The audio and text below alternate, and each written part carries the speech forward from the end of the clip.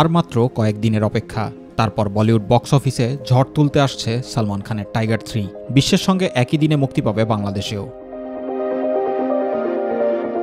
এদিকে আগেই জানা গিয়েছিল, এতে শাহরুখ খানকে অতিথি চরিত্রে দেখা যাবে। এবার জানা গেল ঋত্বিক রোশনকেও দেখা যাবে এই ছবিতে। যুক্তরাষ্ট্রের চলচ্চিত্র বিষয়ক ম্যাগাজিন ভ্যারাইটি জানিয়েছে টাইগার থ্রিতে দেখা যাবে ঋত্বিক রোশনকে। ওয়ার সিনেমার কবির চরিত্রে সিনেমায় ক্যামিও দেবেন তিনি। যদি এমনই হয়, তাহলে সিনেমাটির মাধ্যমে প্রথমবারের মতো একসঙ্গে দেখা যাবে সালমান, শাহরুখ ও ঋত্বিককে।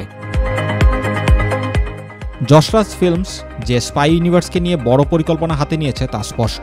এর প্রথম ঝলক পাওয়া গিয়েছিল শাহরুখের সিদ্ধার্থ আনন্দের ব্লকবাস্টার পাঠান সিনেমাতে, যেখানে পাঠান শাহরুখের সঙ্গে কাঁধে কাঁধ মিলিয়ে অ্যাকশন করেছিলেন টাইগার সালমান। পাঠান সিনেমাতেই ইঙ্গিত ছিল টাইগার থ্রিতে শাহরুখকে দেখা যাবে, তবে এবার শুধু পাঠান শাহরুখ নয়, ওয়ারের কবিরকেও দেখা যাবে টাইগারের সঙ্গে হাতে হাত মেলাতে। তবে যশরাজের পক্ষ থেকে এ নিয়ে কোনো মন্তব্য পাওয়া যায়নি।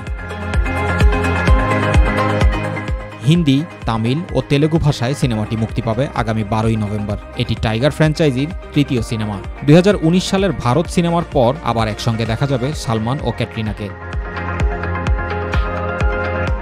যশরাজ ফিল্মসের স্পাই ইউনিভার্সের এই ছবির ভিলেন চরিত্রে দেখা যাবে অভিনেতা ইমরান হাসমিকে অন্যান্য চরিত্রে আরও অভিনয় করেছেন আশুতোষ রানা, রণবীর সোরে, বিশাল জেটওয়া ঋদ্ধি ডোগরা সহ আরও অনেককেই।